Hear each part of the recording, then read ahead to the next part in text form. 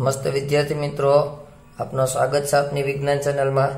રાસાયણિક પ્રક્રિયાઓના નિયમો છે, એના આજે આપણે જોવાના છીએ. આની અગાઉ આપણે સંયોજનો કેવી રીતે બનાવવા તે જોઈ ગયા છીએ. રાસાયણિક પ્રક્રિયાઓ છે, એની અંદર હંમેશા કોઈ પણ પ્રક્રિયા લખાશે, એટલે એની બે બાજુ પડશે. એક હશે એની ડાબી બાજુ,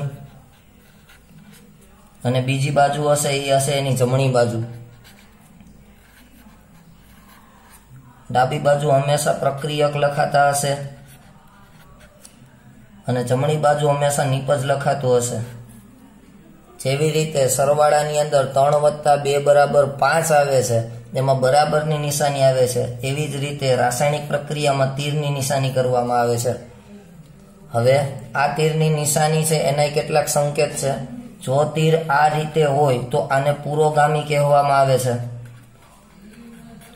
જેનો અર્થ છે પ્રક્રિયકમાંથી નિપજ બને છે.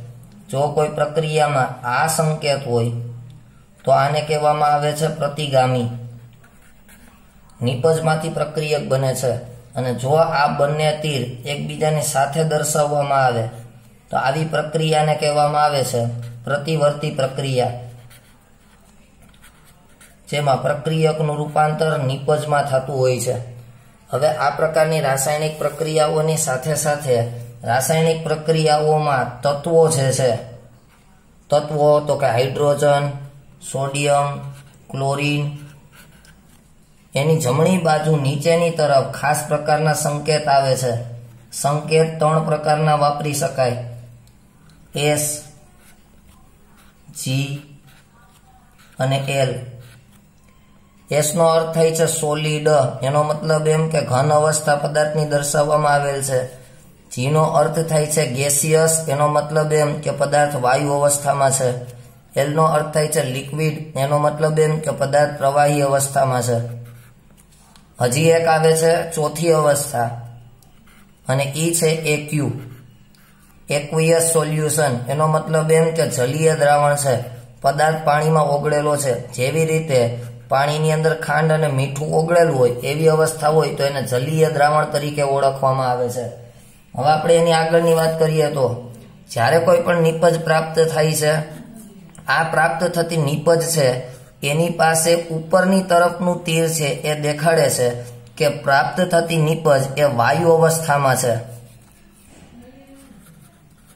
વાયુ અવસ્થા માટેના તો આપણા માટે બે સંકેત થઈ ગયા. એક છે જી અને બીજું છે, આ ઉપરની તરફનું તીર એવી જ રીતે જો નિપજ છે, એને તમે બાજુમાં નીચેની તરફ તીર દર્શાવો, તો એ હંમેશા અવક્ષેપ હશે. એનો મતલબ એમ કે પદાર્થ છે, એ અદ્રાવ્ય અવસ્થામાં પ્રાપ્ત થાય છે. રાસાયણિક પ્રક્રિયામાં તીર છે, આ તીરની ઉપર ડેલ્ટાની નિશાની દેખાડે છે કે તાપમાનનો તફાવત છે એવી જ રીતે એની નીચેની તરફ અથવા ઉપરની તરફ ઉદ્દીપકને પણ દર્શાવવામાં આવે છે.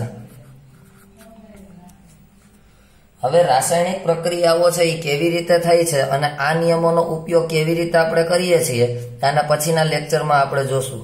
જો આજનો વીડિયો તમને પસંદ આવે તો વિડીયોને લાઇક કરો, તમારા મિત્રો સાથે શેર કરો અને આપણી વિજ્ઞાન ચેનલને સબસ્ક્રાઈબ કરો.